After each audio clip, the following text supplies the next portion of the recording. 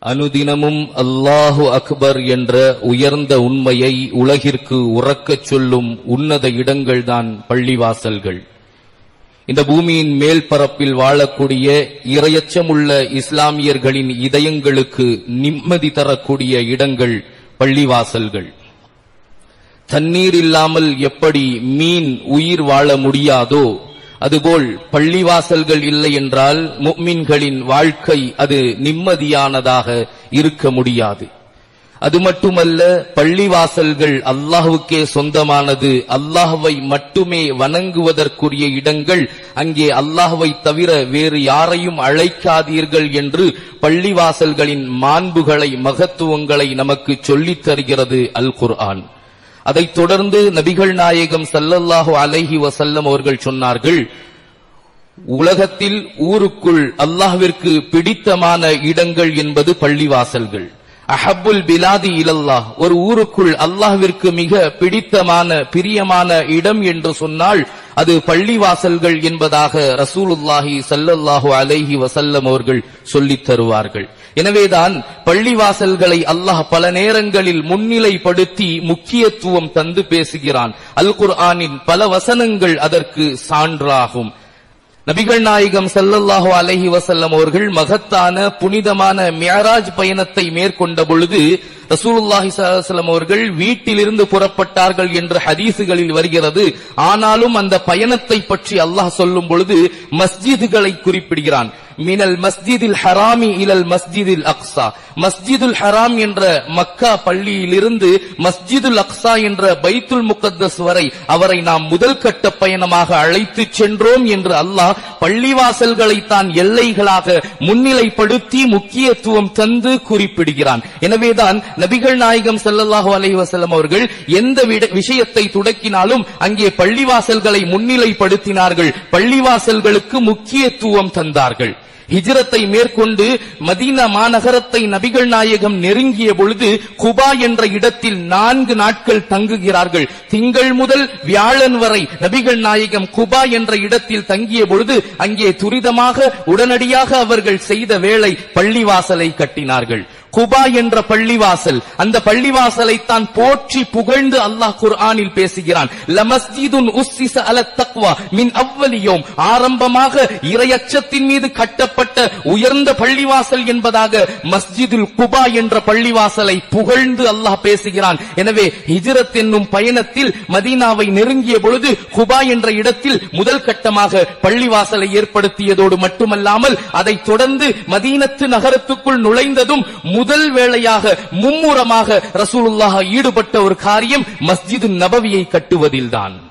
மஸ்ஜிது நபவியை கட்டுவதற்கான எல்லா வேலைகளையும் முன்னிலைப்படுத்தினார்கள். பள்ளிவாசல்களுக்கு முக்கியத்துவம் தந்தார்கள். பள்ளிவாசல் மிக முக்கியமான ஒன்று. இஸ்லாமியர்கள் முஸ்லிம்கள் முக்மின்களுக்கு பள்ளிவாசல் இல்லாத ஒரு வாழ்க்கை அது நினைத்தே பார்க்க முடியாது. மிக முக்கியமான அங்கம் வகிக்கிறது முஸ்லிம்களின் வாழ்க்கையில் பள்ளிவாசல்கள் தவிர்க்க முடியாத அங்கம் வகிக்கிறது என்பதை அன்னலம் பெருமானார் ஸல்லல்லாஹு அலைஹி வசலம் அவர்கள் இந்த நிகழ்வுகளின் மூலம் இந்த செயல்பாடுகளின் மூலம் நமக்கு சொல்லித் தருகிறார். தருகிறார்கள் பள்ளிவாசல்கள் என்பது அல்லாஹ்வை மட்டும் வணங்கக்கூடிய இடங்கள். அத்தோடு பள்ளிவாசல்கள் நல்ல பல பண்புகளை மொமீன்களுக்கு கற்றுத்தரும் பாடசாலைகளும் கூட.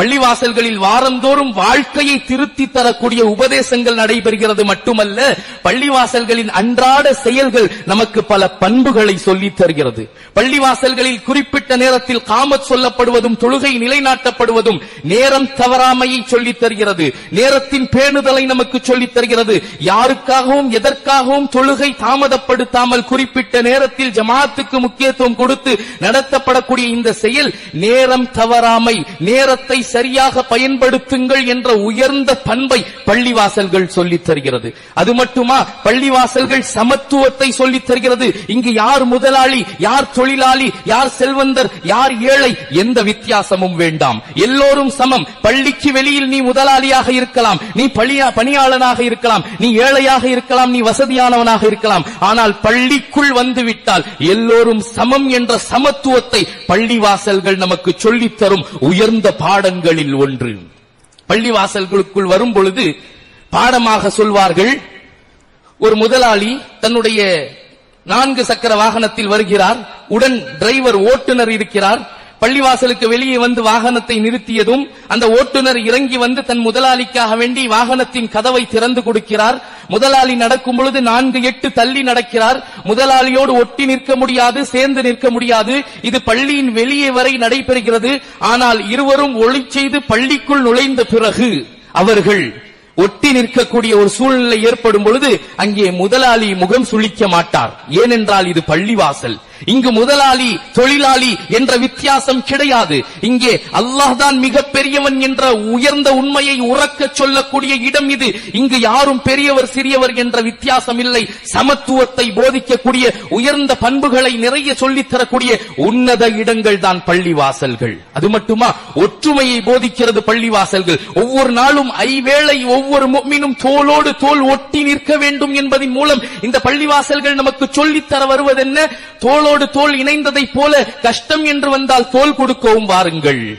உள்ளங்களை ஒன்றிணைத்துக் கொள்ளுங்கள். ஒவ்வொரு நாளும் ஐவேளையில் ஒட்டி நிற்பதின் மூலம் உள்ளங்களில் இணக்கத்தை பிரியத்தை அன்பை ஏற்படுத்திக் கொள்ளுங்கள் என்ற உயர்ந்த பாடத்தை பள்ளிவாசல்கள் போதிக்கிறது. அது மட்டுமல்லாது பள்ளிவாசல்களில் ஐவேளை தொழுகைக்காக வேண்டி பாங்கு சொல்லி அல்லாஹ் அழைக்கிறான். பாங்கின் மூலம் அழைப்பை தெரிவிக்கும்படி அல்லாஹ் சொல்லி இருக்கிறான் இது மனிதர்கள் சுயமரியாதையை கடைபிடிக்க வேண்டும் என்பதை அல்லாஹ் சொல்லி தருகிறான். என் வீடாக இருந்தாலும் நான் அழைத்ததுக்கு அப்புறம் வா. உனக்கென்று ஒரு மரியாதை இருக்கிறது. உனக்கென்று ஒரு கண்ணியம் இருக்கிறது. ஒரு சுயமரியாதை இருக்கிறது. அதை யாருக்காக வேண்டியும் நீ விட்டு தராதே. நான் அழைத்த பிறகு என் பள்ளிக்கு வா. யாரின் இல்லத்திற்கும் அழைக்காமல் செல்லாதே. அது என் வீடாக இருந்தாலும் நான் அழைத்து நீ வர வேண்டும். உன் சுயமரியாதையை உன் மதிப்பை நீ பாதுகாத்துக் கொள்ள வேண்டும் என்ற உயர்ந்த பண்புகளை சொல்லித்தரக்கூடிய உன்னத இடங்கள் தான் பள்ளிவாசல்கள். இந்த பள்ளிவாசல்களை முறையாக சரியாக அல்லாஹ் ரசூல் சொன்னதின்படி நாம் பயன்படுத்தினோம் என்று சொன்னால் அதன் மூலம் கிடைக்க பெறக்கூடிய சன்மானங்கள் சோபனங்கள் பாக்கியங்கள் எண்ணில் அடங்காதவைகள். ஏராளமான சன்மான சோபன பாக்கியங்களை பாதுகாப்புகளை இந்த பள்ளிவாசல்களின் வாயிலாக நாம் பெற முடியும். தொடக்கமாக எத்தனையோ சன்மான சோபனங்களை பள்ளிவாசலோடு தொடர்பு வைத்திருப்பவர்களுக்கு ரசூல்லா சொன்னார்கள். அதில் மிக உயர்ந்த சோபனமாக சொன்னார்கள். யார் பள்ளிவாசலோடு தொடர்பு வைத்திருக்கிறாரோ? அனுதினமும் பள்ளிக்கு வந்து செல்வ பழக்கமுடையவர்களாக இருக்கிறாரோ? அவரை நீங்கள் பார்த்தால் அவருடைய ஈமானுக்கு சாட்சி சொல்லுங்கள் என்று சொன்னார்கள் ரசூலுல்லாஹி சல்லா அலைஹி நம்முடைய ஈமானின் சாட்சி பள்ளியின் தொடர்பு தானே தவிர நம் பேர் அல்ல. அப்துல்லா அப்துல் காதர் இஸ்மாயில் இந்த பெயர்கள் நாம் முஃமின் என்பதற்கு சாட்சிகள் அல்ல. மாறாக நம்முடைய ஈமானுக்கான சாட்சி எது தெரியுமா? நம்முடைய தொடர்பு அது பள்ளிவாசல்களோடு இருக்க வேண்டும். எனவே பள்ளிவாசலோடு தொடர்புடையவர்களை நீங்கள் பார்த்தால் அவர் முஃமின் என்பதற்கு சாட்சி சொல்லுங்கள் என்று சொன்னார்கள் ரசூலுல்லாஹி ஸல்லல்லாஹு அவங்க. பேர் கேட்டுட்டு அவர் பேர் முஸ்லிம் பேரா இருந்தா சாட்சி சொல்லுங்கன்னு சொல்லல. பள்ளியின் தொடர்பு ஈமான் இருக்கிறது என்பதற்கான அடையாளங்களில் ஒன்று. காரணம் பள்ளிவாசலின் தொடர்பு இல்லாமல் யார் இருப்பாரோ அவருடைய ஈமான் இபிலிசினால் சின்னாபின்னப்படுத்தப்பட்டிருக்கும் என்று ரசூலுல்லாஹி ஸல்லல்லாஹு அலைஹி வஸல்லம் அவர்கள் சொன்னார்கள். முஆஸ் இப்னு ஜபல் ரலியல்லாஹு தஆலா அவர்கள் சொல்வார்கள் ஆட்டுக்கு ஓனாய் எதிரியாக இருப்பதைப் போல மனிதனுடைய ஓனாய் இபிலிஸ் ஆவான் இந்த இபிலிஸ் எப்படி ஆட்டின் ஓனாய் ஆட்டு மந்தையிலிருந்து ஒரு ஆடு பிரிந்ததும் அதை தாக்கி விடுகிறதோ அதுபோல் பள்ளியிலிருந்து எப்போ இவர் தொடர்பை துண்டிப்பார் இவரை தாக்கலாம் என்று மனித ஓனாய் இபிலிஸ் ஷைத்தான் என்பவன் காத்திருக்கிறான். அவன் எந்நேரத்திலும் உங்கள் ஈமானை சின்னாபின்னப்படுத்த கூடும் எனவே உங்களுடைய ஈமானின் பாதுகாப்பு பள்ளிவாசலோடு தொடர்பை வைத்துக் கொள்ளுங்கள் என்பதாக ரசூலுல்லாஹி ஸல்லல்லாஹு அலைஹி வஸல்லம் அவர்கள் சொல்ல முஆஸ் ஜபல் ரலியல்லாஹு தஆலா அவர்கள் சொன்னார்கள். எனவேதான் எக்காரணத்தை கொண்டும் பள்ளியின் தொடர்பை துண்டிப்பதற்கு அனுமதியே அல்ல. ஜமாத் என்ற ஐவேளை தொழுகை இருக்கிறதே இந்த ஐவேளையும் பள்ளியில் தொழுவதுதான் மிக முக்கியமான கடமை. எந்த நேரத்திலும் மிகவும் நிர்பந்திக்கப்பட்டாலே தவிர அதற்கான காரணங்கள் பயம் நோய் என்பதாக சொல்லப்படுகிறது. இது உச்சகட்டமான பயமோ அல்லது உச்சகட்டமான நோயோ இருந்தால் மட்டுமே பள்ளிக்கு வருவதை தடுத்துக் கொள்ளலாமே தவிர மற்ற எந்த நேரத்திலும் பள்ளியை தொடர்பை துண்டித்துக் கொள்வதற்கு இஸ்லாம் அனுமதியே தரவில்லை. ஒரு சின்ன நிகழ்வை நாம் சொல்லலாம். ஹதரத் அப்துல்லாஹ் இப்னு உம்மு மக்தூம் ரலியல்லாஹு தஆலா அன்ஹு என்ற ஒரு சஹாபி பார்வை இல்லாத சஹாபி. அவர்களுக்கு கண் பார்வை இல்லை. அந்த சஹாபி ரசூலுல்லாவிடம் கேட்டார்கள் யார் ரசூலல்லா எனக்கு கண் பார்வை இல்லை. சமயங்களில் பள்ளிக்கு வருவதில் சிரமம் ஏற்படுகிறது. உண்மைதானே பார்வை இல்லாமல் ஒரு இடத்திற்கு செல்வது என்பது எவ்வளவு சிரமமான காரியம். அப்பேற்பட்ட அந்த பார்வையற்ற சஹாபி சொல்கிறார் சில நேரங்களில் பள்ளிக்கு வருவதில் எனக்கு சிரமம் ஏற்படுகிறது. அது நேரத்தில் நான் பள்ளிக்கு வருவதை தவிர்த்துக் கொள்ளலாமா? வீட்டிலேயே தொழுது கொள்ளலாமா? என்று பார்வை தெரியாத ஒரு சஹாபி கேட்ட பொழுது ரசூல்லாஹி ஸல்லல்லாஹு அவர்கள் அந்த அப்துல்லாஹ் இப்னு உம்மு மக்தூம் ரலியல்லாஹு தஆலா அன்ஹு அவர்களிடம் கேட்டார்கள் அதஸ்மஉன் நிதா பாங்கு சத்தம் உங்களுக்கு கேட்குதா? நீங்க இருக்கும் இடத்தில் பாங்கு சத்தம் உங்கள் செவிகளை தட்டுகிறதா? உங்களுக்கு அது கேட்கிறதா? என்று கேட்ட பொழுது ஆம் யார ரசூலுல்லாஹ் எனக்கு பாங்கு சத்தம் கேட்கிறது என்று சொன்ன பொழுது மா அஜிதுலக ரோஹ்சத். அப்படி என்றால் உங்களுக்கு எந்த சலுகையும் இல்லை. நீங்கள் வந்தாக வேண்டும் என்று சொன்னார்கள் ரசூலுல்லாஹி ஸல்லல்லாஹு அலஹி வசல்லம் அவர்கள். பாங்கு சத்தத்தை கேட்ட பிறகு பள்ளிக்கு வராமல் அவர் அவரவர் இடத்திலேயே நினைத்த இடத்திலேயே இல்லங்களிலேயே கடைகளிலேயே கம்பெனிகளிலேயே குடவுன்களிலேயே தொழுது கொள்பவர்கள் இது விஷயத்தை சிந்தித்து பார்க்க வேண்டும். ஒரு கண்ணு தெரியாத சஹாபிக்கு கூட ரசூலுல்லா அந்த சலுகையை வழங்கவில்லை. பாங்கு சப்தம் கேட்டுவிட்டால் நீ வந்தாக வேண்டும் என்று சொன்னார்கள். ரசூலுல்லாஹி சல்லாஹம் அவர்கள் எவ்வளவு சிரமப்பட்டு இவர்கள் பள்ளிக்கு வருவார்கள் தெரியுமா? வரலாற்று நூட்களில் வருகிறது பள்ளிக்கும் தன்னுடைய வீட்டிற்கும் மத்தியில் ஒரு நூல் போன்ற ஒன்றை கட்டிவிட்டு அதை பிடித்த வண்ணம் நடந்து நகர்ந்து வருவார்களாம். அப்துல்லாஹிபனு மக்தூம் ரசி அல்லாஹு தாலானு அவர்கள். எனவே பள்ளிவாசல்கள் உங்களுடைய ஈமானை பாதுகாப்பதற்கான இடங்கள் அதன் தொடர்பை நீங்கள் துண்டித்துக் கொண்டால் உங்கள் உள்ளங்களில் ஈமான் அது சின்னாபின்னப்படுத்தப்பட்டு விடும் என்று எச்சரித்தார்கள் ரசூலுல்லாஹி சல்லல்லாஹு அலஹி வசல்லம் அவர்கள். எனவே பள்ளிவாசலோடு தொடர்பு வைத்திருப்பவர்கள் பெறக்கூடிய சன்மான சோபன பாக்கியங்கள் கொஞ்ச நஞ்சம் கிடையாது. ஒரு ஹதீஸில் வருகிறது மறுமை நாளில் அந்த வெட்ட வெளியில் எந்த நிழலும் இல்லாத அந்த தளத்தில் அல்லாஹ்வின் அரிசின் நிழல் சிலருக்கு மட்டுமே கிடைக்கும். ஏழு சாரார்கள் அதில் ஒன்றை ரசூலுல்லா குறிப்பிடு குறிப்பிட்டார்கள் எவருடைய உள்ளம் பள்ளிவாசலோடு இணைக்கப்பட்டிருக்குமோ? ரஜுலுன் கல்புஹு முஅல்லகும் கும்பில் மசாஜித் பள்ளிவாசலோடு இணைக்கப்பட்டிருப்பவர்களுடைய அந்த அந்தஸ்து நாளை மறுமை நாளில் அவர்களுக்கு அர்ஷின் நிழல் கிடைக்கும் என்பதாக சொன்னார்கள் ரசூலுல்லாஹி ஸல்லல்லாஹு அலைஹி வஸல்லம் அவர்கள். எனவே பள்ளிவாசல்கள் அதனுடைய முறையாக அதை பயன்படுத்தும் பட்சத்தில் அதன் மூலம் நாம் பெறக்கூடிய சன்மான சோபனங்கள் என்பது கொஞ்ச நஞ்சமல்ல. சஹாபாக்கள் பள்ளிவாசல்களை எப்படி சரியாக பயன்படுத்தி இருக்கிறார்கள் தெரியுமா? எந்த நேரத்திலும் எந்த நிலையிலும் அவர்களின் நினைவில் பள்ளிவாசல்கள் இருந்திருக்கிறது. கவலை நேரங்களில் கவலை அதிகமாகிவிட்டால் அவர்கள் கவலை தீர பள்ளிவாசல்களுக்கு வந்திருக்கிறார்கள் வரலாறுகள் சொல்கிறது. இன்றைக்கு கவலை என்று இருந்தாலே தவறான இடத்திற்கு செல்லக்கூடிய இந்த சமுதாயம். இந்த நிகழ்வுகள் ரசூலுல்லாஹி ஸல்லல்லாஹு காலத்தில் சஹாபாக்கள் பள்ளியை எப்படி பயன்படுத்தினார்கள் என்று கேட்டால் சற்று ஆச்சரியமாக தான் இருக்கும். கவலை என்று வந்தால் அந்த கவலையை தீர்ப்பதற்கு நிம்மதி பெறுவதற்கு பள்ளிவாசலையே தேர்ந்தெடுத்தார்கள் சஹாபாக்கள். அபு உமாமா என்ற ஒரு சஹாபி. ஒரு நேரத்தில் ரசூலுல்லாஹி சல்லா அலிஸ்லாம் அவர்கள் மஸ்ஜித் நபவியை கடந்து செல்லும் பொழுது தொழுகை இல்லாத வேறு சாதாரண நேரத்தில் இந்த சஹாபி மஸ்ஜித் நபவி பள்ளிவாசலில் கவலை தோய்ந்த முகத்தோடு சாய்ந்த வண்ணம் அமர்ந்திருக்கிறார். ரசூலுல்லாஹி ஸல்லல்லாஹு அவர்கள் உள் நுழைந்து சலாம் உரைத்து கேட்டார்கள் அபு உமாமாவே இந்த நேரத்தில் இங்கு என்ன செய்கிறீர்? இது தொழுகைக்கான நேரம் அல்லவே ஏன் இங்கு கவலை தோய்ந்த முகத்தோடு அமர்ந்திருக்கிறீர்? என்று கேட்கும் பொழுது அந்த சஹாபி சொன்ன வார்த்தை யார் அசூலல்லா எனக்கு சற்று கவலை அதிகமாகிவிட்டது. என்ன காரணம்? என்று கேட்ட பொழுது கடன் அதிகமாகிவிட்டது. கடனின் காரணமாக கடன் பிரச்சனையின் காரணமாக என் உள்ளம் நிம்மதியை தொலைத்து விட்டது யார் அசூலல்லா அந்த கவலையிலிருந்து நிம்மதி பெற வேண்டும். ஏதாவது வழி கிடைக்கும் என்று இறை இல்லத்தை நாடி தேடி வந்துவிட்டு விட்டேன் என்று சொன்ன பொழுது ரசூலுல்லாஹி ஸல்லல்லாஹு அலைஹி வஸல்லம் அவர்கள் அந்த சஹாபிக்கு ஒரு துஆவை சொல்லி தந்தார்கள். உன்னுடைய கவலை நீங்க கடன் தீர உனக்கு ஒரு அருமையான துஆவை சொல்லி தருகிறேன். ஒவ்வொரு தொழுகை முடிந்ததும் அல்லாஹ்விடம் இந்த துஆவை கேட்டு வா என்று ஒரு துஆ. அல்லாஹும்ம இன்னி அஊது பிக்க மினல் ஹம்மி வல் ஹசன் வன நஊது பிக்க மினல் அஜ்ஸி வல் கஸ்ல் வன நஊது பிக்க மினல் ஜுபுனி வல் புகுல் வன நஊது பிக்க மின் கலபத்தி தைனி வ கஹ்ரி ரிஜால் என்ற அருமையான இந்த துஆவை சொல்லி தந்த பிறகு இன்முகத்தோடு புறப்பட்டு சென்ற அந்த சஹாபி சில நாட்கள் கழித்து ரசூலுல்லாஹ்வை சந்தித்து சொல்கிறார் யார் ரசூலல்லாஹ் நான் அந்த துவாவை ஓதி கடன் தீர முயற்சியும் செய்தேன். உடனடியாக அல்லாஹ் என் கடன் சுமையை நீக்கினான். என் கவலை தீர்ந்தது என்று அந்த சஹாபி சொன்ன சத்தியம் வரலாற்று நூட்களில் பதிவு செய்யப்படுகிறது. இப்படியாக கவலை தீர்வதற்கும் கவலை நேரங்களிலும் பள்ளிவாசலை தேர்வு செய்தார்கள். அதே சமயம் கோபம் வந்தாலும் உடனே பள்ளிவாசலுக்கு வந்துருவாங்க. இன்னைக்கு குடும்ப பிரச்சனைகள் கோபம் என்றால் கோர்ட்டை ஸ்டேஷன்களை தேர்வு செய்யக்கூடிய இந்த சமுதாயம். சம்பிரதாயம் சஹாபாக்கள் காலத்தில் வீட்டில் ஒரு சிறிய சங்கடம் கோபம் என்றால் உடனடியாக பள்ளிவாசலில் வந்து அமைதி காத்து அல்லாஹ்வை துதித்து தன் கோபத்தை தனித்து பிறகு வீட்டிற்கு சென்றிருக்கிறார்கள். சஹாபாக்கள் என்பதற்கு நிறைய சான்றுகள். ஒரு நேரத்தில் ரசூலுல்லாஹி ஸல்லல்லாஹு அவர்கள் தன் அருமை மகளார் ஃபாத்திமா ரலியல்லாஹு தஆலா அன்ஹா அவர்களுடைய வீட்டிற்கு செல்கிறார்கள். அங்கே மருமகனை காணவில்லை.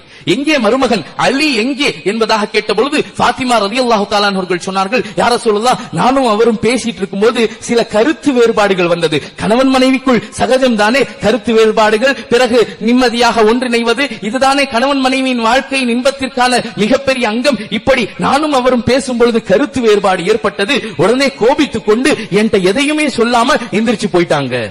என்பதாக பாத்திமா ரசியல்லாஹு தாலான் அவர்கள் சொன்னதும் உடனடியாக வீட்டை விட்டு வெளியே வந்த ரசூல்லா அவர்கள் ஒரு சஹாபியை அழைத்து கேட்டார்கள். தோழரே அலி எங்கே இருக்கிறார்? சற்று பாரும் என்று சொன்ன பொழுது அவர் தேடி குறுகிய நேரத்தில் வந்து சொல்கிறார் யார் ரசூலுல்லாஹ் உங்களுடைய மருமகன் அலி அவர்கள் மஸ்ஜிது நபவியில் இருக்கிறார். உடனடியாக சென்றார்கள் ரசூல்லா ஸல்லல்லாஹு அவர்கள்.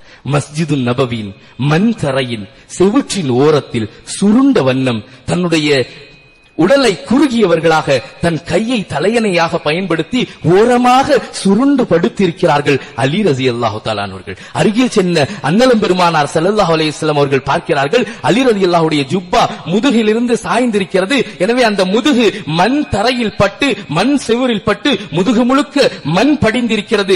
ரசூலுல்லாஹி ஸல்லல்லாஹு அவர்கள் தன் முபாரக்கான கரத்தினால் அலி ரதி அல்லாஹுடைய முதுகை தடவி கொடுத்து அந்த மண்ணை தட்டி உதறியவர்களாக சொன்னார்கள் கும் யா அபத்துராப் மண்ணின் தந்தையே எழுந்திரியுங்கள் எழுந்திரியுங்கள் வாருங்கள் செல்லலாம் என்று அழைத்து வந்தார்கள் என்று வரலாறுகள் சொல்கிறது. கவலை கோப நேரத்தில் கூட பள்ளிவாசல்களை தேர்வு செய்தார்கள் சஹாபாக்கள். அதனால் குடும்பங்களில் நிம்மதி அதிகரித்தது. கோபங்களை தீர்த்து சந்தோஷங்களை அதிகரித்துக் கொண்டார்கள் நிம்மதியை அடைந்தார்கள். இன்றைக்கு கோபம் என்றாலே கோர்ட்டில் பார்க்கலாம் என்று முழங்கக்கூடிய ஊழையிடக்கூடிய சிலர்கள் இருக்கக்கூடிய இந்த சூழ்நிலையில் இந்த சஹாபாக்களுடைய வாழ்க்கை வழிமுறைகளை நாம் சற்று கவனித்து பார்க்க வேண்டும். எனவேதான் ரசூலுல்லாஹி சல்லாஹ் அலையம் அவர்கள் பள்ளிவாசல்களை சரியாக பயன்படுத்திக் கொண்டால் அதன் மூலம் நீங்கள் சன்மான சோபனங்களை பாக்கியங்களை பெறலாம் என்று சொன்னார்கள். பள்ளிவாசலோட தொடர்பு பள்ளிவாசலுக்கு நன்மை செய்வது என்பது சாதாரணமானதல்ல. நபிகள் நாயகம் ஸல்லல்லாஹு அலைஹி காலத்தில் மஸ்ஜிது நபவியை ஒரு பெண்மணி சவுதா என்ற ஒரு பெண்மணி சஹாபி ரசி அல்லாஹு தாலான்ஹா அவர்கள் கூட்டி பெருக்கி சுத்தம் செய்து கொண்டிருந்தார்கள். ஒரு நாள் ரசூலுல்லாஹ் அவர்கள் அந்த பெண்மணியை பார்க்கவில்லை. எங்கே என்று கேட்டார்கள். சஹாபாக்கள் சொன்னார்கள் நேற்றைய தினம் அவர்கள் வஃபாத்தாகி விட்டார்கள். அடக்கம் செய்து விட்டோம் என்று சொன்ன பொழுது ரசூலுல்லாஹ் அவர்கள் முகம் செய்தவர்களாக சொன்னார்கள். என்று சொல்லக்கூடாதா? என்னிடம் சொல்லக்கூடாதா? உங்களில் யாரேனும் வஃபாத்தாகி என்னிடம் சொல்லாமல் அடக்கம் செய்யாதீர்கள் என்று சொன்னவர்களாக வெடுக்கென்று சென்றவர்களாக எங்கே அடக்கம் செய்யப்பட்டார்கள் என்பதை கேட்டு அந்த கபரின் முன்னால் நின்று ஜனாசா தொழுதார்கள். ரசூலுல்லாஹி அவர்கள் ஜனாசா தொழுகை முடிந்ததும் சொன்னார்கள். தோழர்களே இந்த பெண் சொர்க்கவாசி என்று சொன்னார்கள். பள்ளிவாசலை கூட்டி பெருக்கி சுத்தம் செய்யக்கூடிய பணி செய்து வந்த இந்த பெண்ணின் அந்தஸ்து தெரியுமா உங்களுக்கு? இந்த பெண்ணின் கபரின் முன்னால் நின்று ஜனாசா தொழுவதற்கு நான் பெருமைப்படுகிறேன். இந்த பெண் பாக்கியம் பெற்றவள் என்று சொன்னார்கள். ரசூலுல்லாஹி அவர்கள் எனவே பள்ளிவாசல் பணியாளர்கள் மட்டுமல்ல பொறுப்புதாரிகளுக்கும் நிறைய சன்மான சோபனங்களை ரசூலுல்லாஹி ஸல்லல்லாஹு அவர்கள் சொன்னார்கள். மறுமை நாளில் அல்லாஹ் கேட்பானாம் மலக்குமார்களிடம் ஐன ஜீரானி ஐன ஜீரானி என் அண்டை வீட்டுக்கு வீட்டுக்காரர்கள் எங்கே? என் அண்டை வீட்டுக்காரர்கள் எங்கே? மலக்குமார்கள் சொன்னார்கள் யார் சூழல்லா உன் அண்டை வீட்டுக்காரனாவதற்கு யாருக்கு தகுதி இருக்கிறது? அப்படி யார் இருக்கிறார்கள்? என்று சொன்ன பொழுது அல்லாஹ் சொல்வான் இருக்கிறார்கள் என் அண்டை வீட்டுக்காரர்கள் ஐன உம்மாருல் மசாஜித் மஸ்ஜிதுகளின் பொறுப்புதாரிகள் எங்கே? மஸ்ஜிதுகளின் நிர்வாகஸ்தினர்கள் எங்கே? மஸ்ஜிதுகளை நிர்வகித்தவர்கள் எங்கே? மஸ்ஜிதுகளை பொறுப்பேற்று அதை சரியாக செம்மையாக செயல்படுத்தியவர்கள் எங்கே? அவர்கள் என் அண்டை வீட்டுக்காரர்கள் என்று அல்லாஹ் சொல்வான் என்பதை ரசூலுல்லாஹி சல்லுல்லாஹு அலஹி வசல்லம் அவர்கள் சொல்லி காட்டுவார்கள். இப்படியாக பள்ளிவாசல்களின் பிரயோஜனங்கள் பள்ளிவாசல் மூலியமாக நாம் பெறக்கூடிய சன்மான சோபன பாக்கியங்கள் கொஞ்ச நஞ்சமல்ல. பள்ளிவாசல்கள் என்பது மோமின்களுக்கு மட்டுமா இஸ்லாமியர்களுக்கு மட்டுமா முஸ்லிம்களுக்கு மட்டுமா? இல்லை பொது ஜனங்களுக்கும் தான். பொது ஜனங்களுக்கும் சேவையாற்றக்கூடிய இடங்கள் பள்ளிவாசல்கள். இஸ்லாம் அதை சொல்லித் தருகிறது. அப்படித்தான் பள்ளிவாசல்கள் நடைபெற்றுக் கொண்டிருக்கிறது.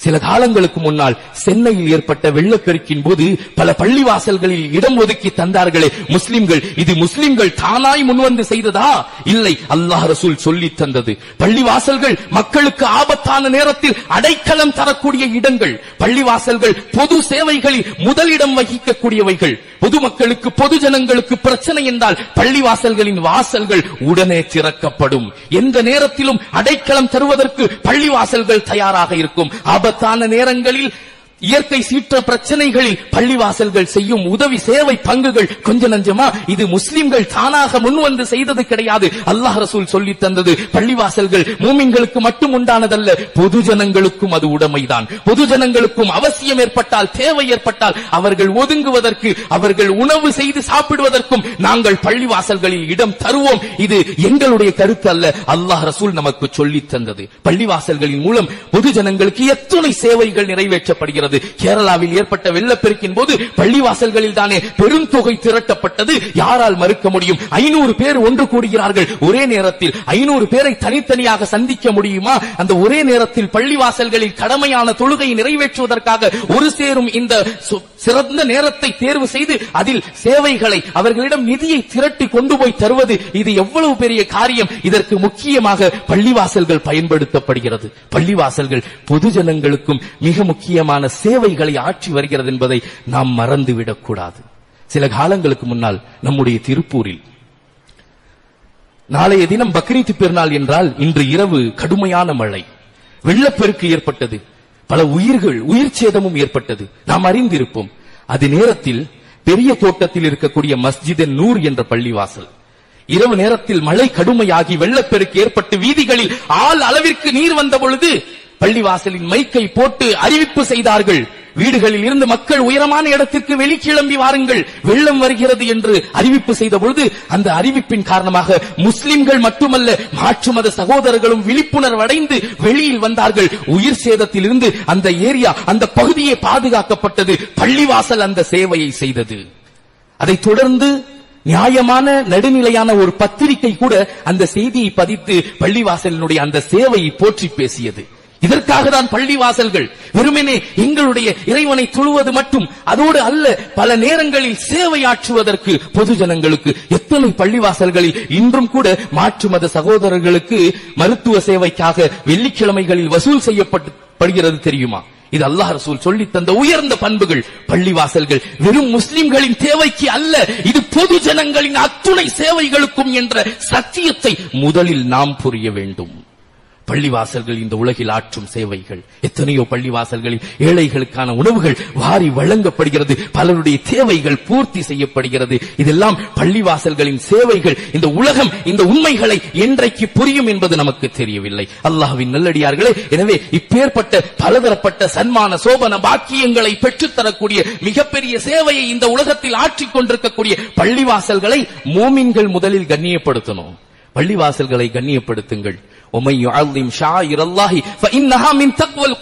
அல்லாஹ்வின் அடையாள சின்னங்கள் இந்த பள்ளிவாசல்கள். அதை கண்ணியப்படுத்துவது இறை அடையாளம் என்று திருமறை நமக்கு சொல்லித் தருகிறது. உள்ளத்தில் இருக்கும் இரையச்சம் அதனுடைய அடையாளம் என்ன தெரியுமா? பள்ளிவாசல்களை கண்ணியப்படுத்துங்கள். மார்க்க மேதைகள் சொல்வாங்க பள்ளிவாசல்களை கண்ணியப்படுத்துறதுங்கிறது எப்படி? பயணத்துல போயிட்டு இருக்கோம் வாகனத்தில் அல்லது வழியில் நடந்து அது நேரத்தில் ஒரு பள்ளிவாசலின் மினாரா பள்ளிவாசல் நமக்கு தென்படுகிறது. அப்போ அந்த பள்ளிவாசலுக்கு நாம் கண்ணியப்படுத்தக்கூடிய முறை மார்க்க மேதைகள் சொல்லி சொல்லி தருவார்கள் மனசுல செலவா தோதுங்க. பள்ளிவாசலை பார்த்தாலே செலவா தோதணும். ரசூலுல்லாஹி அவர்களுக்கு நன்றி செலுத்த வேண்டும். செலவாத்து கூறுவதன் மூலம் அதுதான் நோக்கம். காரணம் இதுவரை இஸ்லாத்தை கொண்டு வந்தவர்கள் நம் இடங்களில் கூட இறை இல்லங்களை அமைவதற்கு உறுதுணையாக இருந்தவர்கள் ரசூலுல்லாஹி அவர்கள். எனவே பள்ளிவாசல்களை பார்த்தாலே செலவா தோதுங்க. பள்ளிவாசல்களின் மினாராக்கள் உங்கள் கண்களில் தென்பட்டாலே செலவா தோதுங்கள். பள்ளிவாசல்களை கண்ணியப்படுத்துங்கள். அத்தோடு பள்ளிவாசலுக்கு புறப்பட்டு செல்ல வேண்டியது இருக்கும் பட்சத்தில் தயாராகுங்கள். பள்ளிவாசலுக்கு போறதுக்கு முன்னாடி தயாரிப்புன்னு ஒண்ணு இருக்கு. அந்த தயாரிப்புங்கிறது மிக முக்கியமானது. அந்த தயாரிப்பு சரியாக இருந்தால் பள்ளிவாசலுக்கு வரக்கூடிய ஒவ்வொரு எட்டுக்கும் நன்மை உண்டு. என்ன தயாரிப்பு அது? ஒழு செஞ்சுட்டு வரணும். இங்கு பள்ளிவாசல்களில் குழாய் போடப்பட்டிருப்பது ஹவுஸ் போடப்பட்டிருப்பது எல்லாம் இது நிர்பந்தத்திற்கு தான் பயணிகள் கடைகளில் ஒழு செய்யும் வசதி இல்லாதவர்கள் இது போன்றவர்களுக்கு தானே தவிர வீடுகளில் இருந்து வருபவர்கள் அல்லது கம்பெனி கடைகளில் ஒழு செய்யக்கூடிய அந்த வசதி இருப்பவர்கள் தங்களுடைய இருப்பிடங்களில் இருந்தே ஒழு செய்து வருவதுதான் சால சிறந்தது நன்மைக்குரியதும் கூட. பள்ளிவாசல்களையே ஒழுவுக்காக வேண்டி பயன்படுத்தாதீர்கள். இது அவசியப்படுபவர்களுக்கு தான் நிர்பந்திக்கப்பட்டவர்களுக்கு தான் அந்த சௌகரியங்கள் இல்லாதவர்களுக்கு தான் மாறாக வீட்டில் கடைகளில் ஒழு செய்யும் வசதி சௌகரியம் இருந்தால் அங்கிருந்தே ஒழு செய்து வருவது நன்மைக்குரிய விஷயம். அபு ஹுரேரா அவர்கள் அறிவிக்கிறார்கள் முஸ்லிம் ஷரீஃபில் ஹதீஸ் பதிவு செய்யப்படுகிறது யார் நல்ல முறையில் ஒழு செய்து பள்ளிவாசலுக்கு நடந்து செல்வாரோ அவருடைய ஒவ்வொரு எட்டுக்கும் இரண்டு பலன்கள் கிடைக்கும். ஒன்று ஒவ்வொரு எட்டுக்கும் ஒரு நன்மை கிடைக்கும். இரண்டாவது ஒவ்வொரு எட்டுக்கும் ஒரு பாவம் மன்னிக்கப்படுவதோடு அந்தஸ்து உயர்த்தப்படும் என்பதாக சொன்னார் சொன்னார்கள் அபுஹுரேரா ரசி அல்லாஹு தஆலா எனவே பள்ளிவாசலுக்கு புறப்படும் போது இந்த தயாரிப்பின் பக்கம் கவனம் செலுத்த வேண்டும். அதை தொடர்ந்து பள்ளிவாசலுக்குள் நுழையும் பொழுது ஒழுக்கு முறைகள் இருக்கு. பள்ளிவாசலுக்குள்ள நுழையும் போது போனை பார்த்துட்டே நுழையிறாங்க.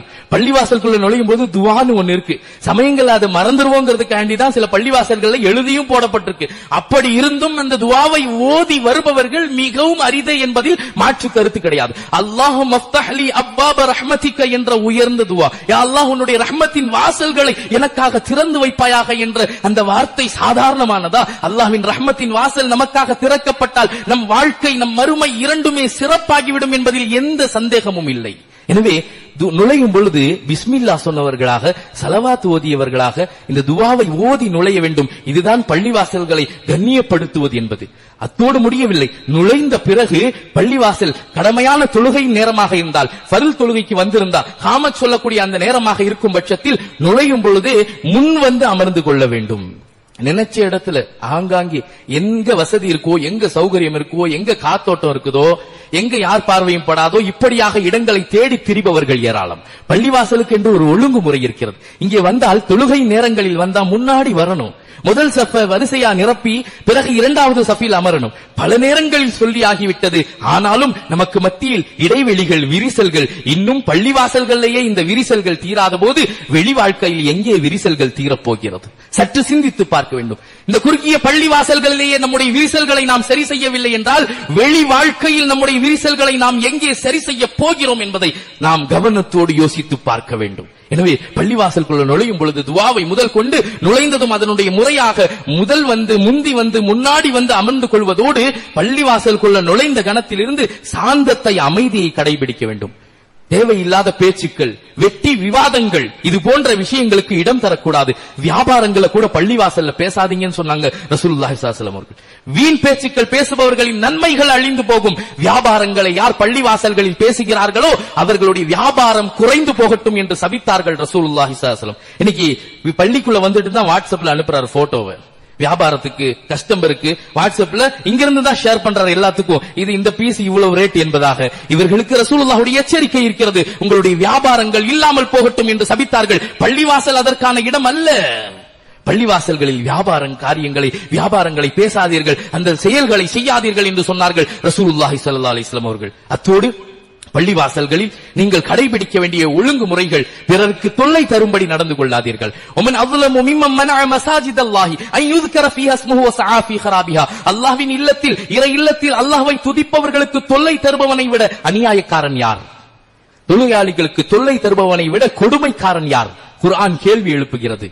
இப்போ நாம எப்படி தொல்லை தருகிறோம்? சமயங்கள்ல செல்போன் செல்போன்களில் மறதி என்பது மனிதனுக்கு சாதாரணமானதுதான். அதை நினைவில் கொள்ள வேண்டும். சில நேரங்களில் மறதி ஏற்படலாம். மறதி அது மன்னிக்கப்படும். ஆனாலும் அது விஷயத்தில் அக்கறையே இல்லாமல் சிலர்கள் இருப்பதுதான் கண்டிக்கத்தக்கது. அதை தொடர்ந்து இப்போ சமீபத்துல அதிகரித்து வருவது என்ன தெரியுமா? செல்போன்ல ரிங்டோன் அடிக்கிறதுங்கிறதெல்லாம் தாண்டி இப்போ செல்போன்ல ரிங்டோன் அடிச்சிருச்சு கால் வந்துருச்சுனாக்கா அங்கேயே உள்ளே உட்கார்ந்துட்டு பேசுறாங்க. முதல் சஃப்லே உட்கார்ந்துட்டு பேசுறாங்க. பள்ளிவாசலுக்குள்ளே இருந்துட்டு பேசுறாங்க. என்ன குழம்புன்னு கேட்கறாங்க வீட்டுல போன் பண்ணி. பக்கத்துல இருக்கிற தொழுகை குழம்பி போகிறது. இது போன்ற நிலைகள் தற்போது அதிகரித்து வருகிறது. இது செல் பேசுவதற்கான இடம் அல்ல இது அல்லாஹை வணங்குவதற்குரிய இடம். பல பண்புகளை கற்று பெற வேண்டிய இடம். வாழ்க்கையை திருத்துவதற்கு பாடங்களை படிப்பினைகளை உபதேசங்களை பெறக்கூடிய இடம் இவைகள். எனவே இதனால் பிறருக்கு சிரமம் ஏற்படுகிறது தொல்லை ஏற்படுகிறது. அல்லாஹ் கேட்கிறான் தொழுகையாளிகளுக்கு தொல்லை தருபவனை விட அநியாயக்காரன் யார்? மிகப்பெரிய அநியாயக்காரன் அவன் இது நேரடியான தொல்லைகள். இதில் மறைமுகமான தொல்லை என்பது பூண்டு போன்ற வெங்காயம் போன்ற பொருட்களை உணவுகளை சாப்பிட்டு வருவது. பச்சை பூண்டு வெங்காயம்.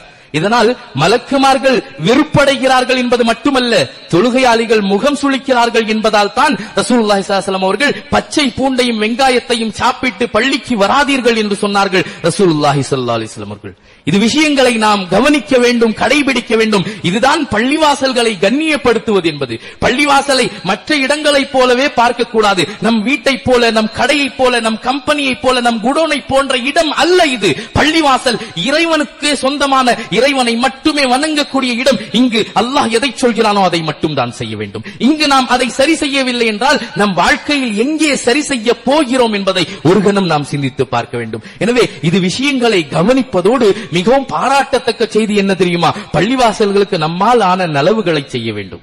பள்ளிவாசலுக்கு ஏதாவது தேவை இருக்கிறது பிரயோஜனம் இருக்கிறது கேட்கிறார்கள் என்பதையும் தாண்டி நாம் முன் வந்து செய்ய வேண்டும். இது மிகவும் பாராட்டத்தக்க செய்தி. ரசூல்லா இது போன்ற காரியங்களை பாராட்டி இருக்கிறார்கள் தமீமுத்தாரி ரசியல்லாஹு தாலானு என்ற ஒரு சஹாபி வியாபார நிமித்தமாக வெளியூர் சென்றவர்கள் அங்கே பளிச்சென்று எரியும் ஒரு விளக்கை பார்த்தார்கள். அந்த விளக்கை பார்த்ததுமே பள்ளிவாசல் தான் ஞாபகத்திற்கு வந்தது. பள்ளிவாசலுக்கு வாங்கிட்டு போலாம் என்பதாக வாங்கி வந்தார்கள். பள்ளிவாசலில் வைத்தார்கள். அந்த விளக்கு பளிச்சிட்டது மஸ்ஜிது நபவி ஒளியால் நிரம்பியது. இதை பார்த்த ரசூலுல்லாஹி ஸல்லல்லாஹு அவர்கள் யார் செய்தது? என்று கேட்டு அந்த சஹாபி என்று சொன்னப்பட்ட பிறகு அந்த சஹாபியை அழைத்து பாராட்டினார்கள். புகழ்ந்தார்கள். அல்லாஹ் உங்கள் வாழ்க்கையை ஒளியாக்கட்டும் என்று சொன்னார்கள். உங்கள் வாழ்க்கையில் அல்லாஹ் இருள்களை ஆபத்துகளை நீக்குவானாக. இறைவனின் இல்லத்தை ஒளியாக்கிய உங்களுக்கு சந்தோஷமான வாழ்க்கை அல்லாஹ் தருவானாக என்று சொன்னதோடு மட்டுமல்லாமல் எனக்கு ஒரு பெண்மகள் இன்னும் ஒரு பெண்மகள் இருந்திருந்தால் அதை உங்களுக்கு திருமணம் முடித்து கொடுத்திருப்பேன் என்று சொன்னார்கள் ரசூலுல்லாஹி ஸல்லல்லாஹு அலைஹி வஸல்லம். எவ்வளவு பெரிய பாராட்டு எவ்வளவு பெரிய புகழ். பள்ளிவாசல்கள் விஷயத்தில் நலம் நாடுவது என்பது பள்ளிவாசல்களின் தேவைகளை முன்னின்று நாம் நிறைவேற்றுவது என்பது சாதாரணமான விஷயம் அல்ல அப்படி பள்ளிவாசலின் தேவையை முன் நிறைவேற்றுவதற்கு அளவுக்கு இல்லையா? பள்ளிவாசலுக்கு எதுவும் வாங்கி தரும் அளவுக்கு இல்லையா? பரவாயில்லை. குறைந்தபட்சம் ஆக குறைந்தபட்சம் பள்ளிவாசல்ல குறைகள் ஏற்படுத்தாமலாவது இருக்க வேண்டும். நம்மளால பள்ளிவாசல்ல எந்த குப்பையும் விழுந்துடாம எந்த குறையும் ஏற்பட்டுறாம இருக்கணும் அதுவே நாம் பள்ளிக்கு செய்யக்கூடிய மிகப்பெரிய தியாகம் தான் மிகப்பெரிய சேவை தான் நம்மளால எந்த ஒரு குறையோ குப்பையோ இங்கே ஆகிவிடக் கூடாது. அது விஷயத்தில் பள்ளிவாசலினுடைய சுத்தத்தில் நாம் கவனம் செலுத்த வேண்டும். ரசூல்லாஹி சல்லா அலிஸ்லாம் அவர்கள் சொன்னார்கள் இந்த சமுதாயத்தின் நன்மை தீமைகள் எல்லாம் எனக்கு காட்டப்பட்டது. அப்படி காட்டப்பட்ட நன்மைகளில் நான் பார்த்தேன். அந்த நன்மைகளில் இந்த நன்மையும் இருந்தது. எது தெரியுமா? வழிகளில் மிரருக்கு தொல்லை தரக்கூடிய கல்லையும் முள்ளையும் முழுவதும் நன்மைக்குரியது. அதை நான் பார்த்தேன். அதே சமயம் இந்த சமுதாயத்தின் தீமைகளும் எனக்கு காட்டப்பட்டது. அந்த தீமைகளில் இருந்தது எதுவெல்லாம் தெரியுமா? அந்த பட்டியலில் ரசூல்லா அவர்கள் சொன்னார்கள் பள்ளிவாசலில் ஒரு குப்பை ஓடுவது பள்ளிவாசலில் குறை ஏற்படுத்துவது கூட அல்லாஹ் பாவ காரியமாக எழுதியிருப்பதை. அது தீமையாக நான் பார்த்தேன் என்று சொன்னார்கள் ரசூலுல்லாஹி சல்லாஹூ அலஹி வஸல்லம். எனவே பள்ளிவாசல்களின் நலனுக்காக நாம் எதுவும் செய்யலனாலும் குறைந்தபட்சம் குறை ஏற்படுத்தாமல் அதனுடைய சுத்தத்திற்கு எந்த விதமான தவறு மாற்றை செய்து விடாமல் குறை ஏற்படுத்தாமல் குப்பைகள் போட்டு விடாமல் பாதுகாப்பது இதுவே நாம் பள்ளிவாசலுக்கு செய்யக்கூடிய மிகப்பெரிய கண்ணியம் என்பதில் ஐயமில்லை.